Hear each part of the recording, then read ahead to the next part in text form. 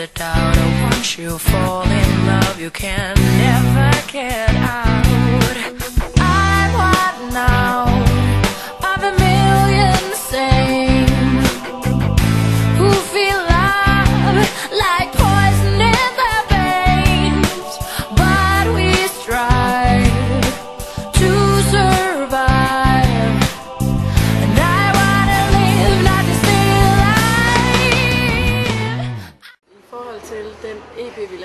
år siden, at der var det næste skridt, også i forhold til, hvor meget materiale vi har fået skrevet siden, og hvor meget at musikken den er blevet udbygget og udviklet, at øh, selvfølgelig, at øh, vi havde ikke rigtig mere at gøre, end at få det ud altså, i en større målestok og, og til et bredere publikum, og få det, gjort ordentligt, fordi at det, øh, det var vigtigt for os snart at, at få sagt de ting, som er på pladen.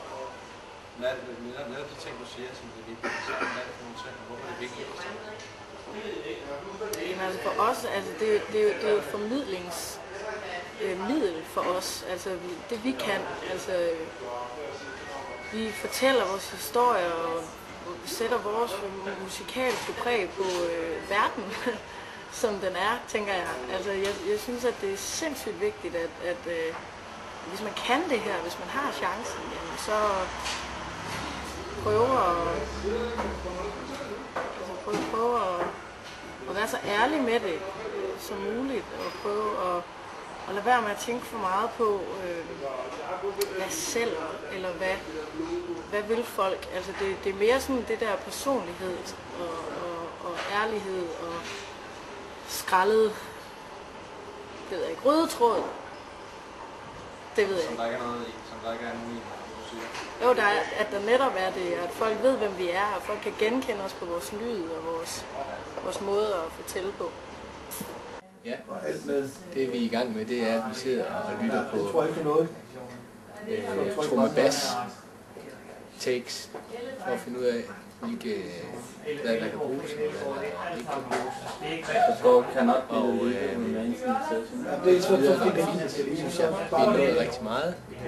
Jeg er rigtig tilfreds. Og Max er klar til at skal indspille guitar, når vi lige får det hele sat op. spille rock.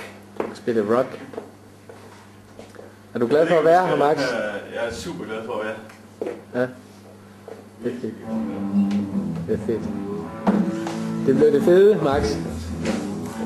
Det bliver så vildt. Jeg synes, der er mange kvaliteter. Jeg synes, det er nogle fine sange. For det første, og det er jo, det er jo, ikke, det er jo ikke noget, der kommer for meget af i øjeblikket. Og så synes jeg, ja, så synes jeg, at Anne synger fantastisk skide godt. Rent udsagt. Jeg synes, de er dygtige musikere. Når man, specielt når man tager i betragtning, hvor gamle det er. Jeg fik et chok, da jeg fik det at vide, men de er jo altså ikke mere end 20, 22 år. Så det blev jeg lidt forskrækket over. Jeg, men jeg synes, de er for Altså nu er, det, nu, nu er det også svært, fordi man skal også sammenligne med København. København er, der sker en hel masse. Men det er sådan mere, uh, man kan tillade sig mere i Jylland. Der, der er ligesom, der, man, kan, man kan åbne nogle flere døre, hvor man i, på Sjælland, der, der, der, øh, de begrænser sig meget sådan, det skal være sådan en eller anden helt speciel stil. Ikke? Så du, der er måske lidt mere jantelov herovre, eller hvad? Ja, det kan man godt sige. Men øh, hvor, hvor, hvor, hvor de tillader sig at åbne lidt flere sluser, kan man sige. Ikke? Altså, hvis de holder sammen, så er det helt sikkert, at de kan, de kan lave alverdens musik. Det tror jeg på. De er dygtige og tænker og arbejder med musik på en rolig og velovervejet måde. Det er fremragende. Det går fint, gør det. Synes du, det går godt? Det, det går rigtig godt. De øh, hold nu mund. Sidder og snakker med kameraet. Hvordan, Hold øh, kæft, du har også set øh, de fleste, eller mange forskellige bands. Hvordan, øh, hvordan med dem? Åh, men de er jo, det eneste, er, den store forskel er jo de jyder, og der er jo ikke meget at gøre ved det, altså. Men jeg håber, de kan snart komme til København, sådan at at de kan blive ligesom alle os andre. Men øh, de er jo flinke alle sammen, og det bliver endda også noget god musik. Så det sådan, øh, så det smadret ud før. Hvordan, er der nogle lange dage ude for? Det er nogle lange dage at være herovre, altså. Vi er også ude om aftenen en gang imellem, det skal der ikke være nogen hemmelighed.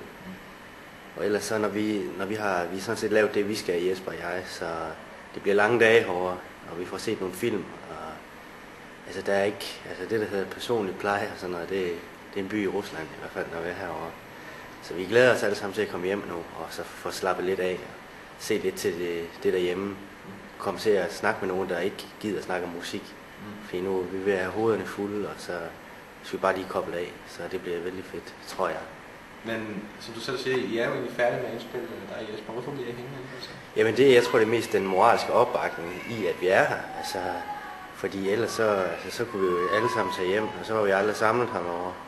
Men altså, vi har også, altså jeg tror da også, nu bliver jeg hjemme for eksempel her i weekenden, kommer først tirsdag igen, for jeg er færdig med det, jeg skal. Så altså, det, man kan ikke blive med at holde fanen højt, ikke når man er færdig. Øh, Og det rent sangmæssige og tekniske, det har jeg ikke noget forstand på. Så, så, Men hvorfor er det vigtigt at have den der moralske opbakning, som du snakker? Jamen jeg tror mere, det er det med, at vi skal være fælles om det, øh, når vi, hvad hedder det, når vi er et band. Øh, fordi ellers så kunne man i princippet have fået hvem som helst til at indspille det, og så kunne vi bare tage det hjem. Altså, så behøver vi ikke indspille det. Vi kunne måske finde nogen, der spiller bedre end os. Men øh, altså, jeg tror mere, det er det i, i at, at det er en oplevelse, vi har sammen det her også. Og så er det vigtigt, at vi er sammen. Fortæl, hvad der lige er foregået. Det kan jeg godt. Det drejer sig simpelthen om, at øh, en håndværker er kommet til at øh, klippe strømmen fuldstændig midt i øh, Det er alle okay. Ja, ja, alt er fantastisk. Det, der er ingen problemer, alt er lavet nu. Men øh, der er en Nola med en gennemsnitspuls på 190 i øjeblikket. De er lidt presset hele banden. Men det hele er undtagen selvfølgelig Hanne, som vi kan se derinde. Hun er helt på toppen. Jeg har, jeg har altid et klart billede af, hvordan det i sidste ende kommer til at lyde jo, og det synes jeg, vi har nået godt, og så som en ekstra bonus, så synes jeg, der er flere numre, der sådan udvikler sig endnu bedre, end, end hvad man lige kunne forestille sig. Numre, der kommer så meget mere til sin ret nu, arrangementsmæssigt og, og selvfølgelig lydmæssigt. Nu lyder det godt. Det er jo også- en bonus i forhold til både de demoer, vi laver, og, Nej, vi skal det ikke. og jeg skal lige snakke med Peter. Så syng lidt. det er jo fedt. Det er rigtig godt. der lyde, som Mads hader. Han, øh,